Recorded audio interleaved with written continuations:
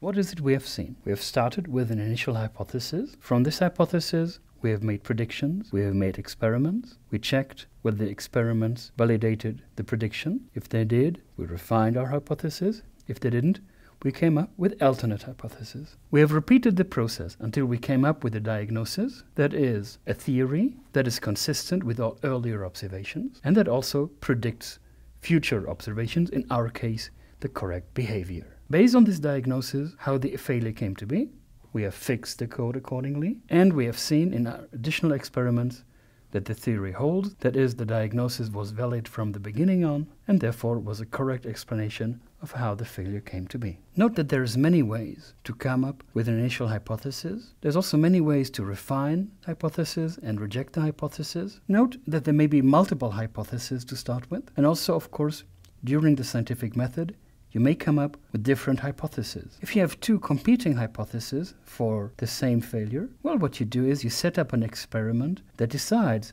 which of the hypotheses is supported and which of the hypotheses is rejected. At the end, there should be only one hypothesis, there should be only one theory, and there should be only one diagnosis on how the failure came to be.